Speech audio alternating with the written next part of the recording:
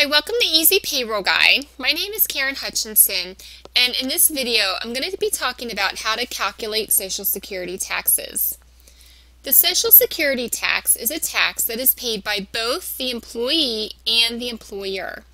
This means that a portion of the tax is withheld from the employee's paycheck, and the other portion of the Social Security tax is paid by the employer. 6.2% of the employee's taxable income is subject to the Social Security tax. That means that you will withhold this amount from their paycheck and pay it to the IRS on their behalf.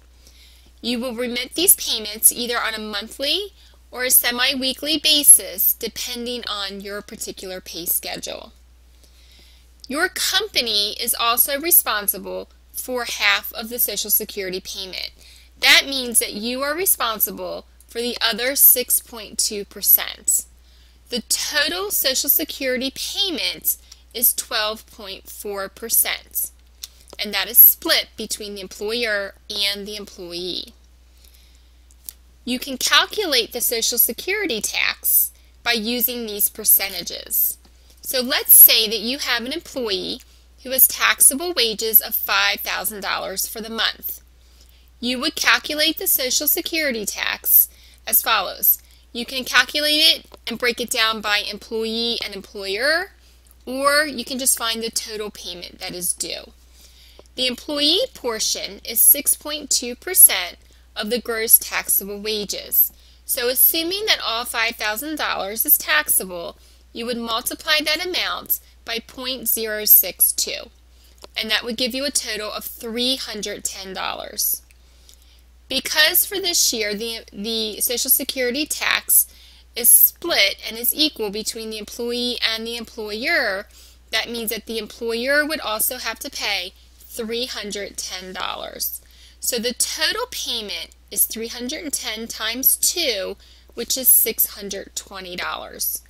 You can also arrive at this amount by taking 5,000 and multiplying it by 0.124, which is 12.4%. And you would still end up with the $620. So when you pay your 941 payment through EFTPS, you would remit your payment for $620 because you'll be paying the employee portion that you withheld from their paycheck and the portion that you owe as well. So you will pay them together. So this is pretty easy to calculate. Again, it's 12.4% total, 6.2% from the employee, and 6.2% from the employer. There is a maximum wage limit for Social Security taxes. The Social Security tax is only taxed on the first $117,000. This has gone up from the year 2013 when it was $113,700, sorry, $113,700. So this means that you will tax Social Security on the first $117,000.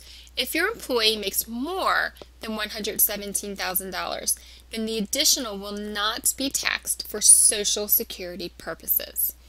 Now, there are a few types of payment that are exempt from Social Security and Medicare wages. So what you would need to do is to go to Publication 15, take a look at pages 36 through 40 to determine if any of the compensation that you've paid to your employee is non-exempt from Social Security. And most wages are, but there are a few that aren't. So you might want to check that out. I hope this has helped you to calculate Social Security taxes. Thank you for visiting Easy Payroll Guide.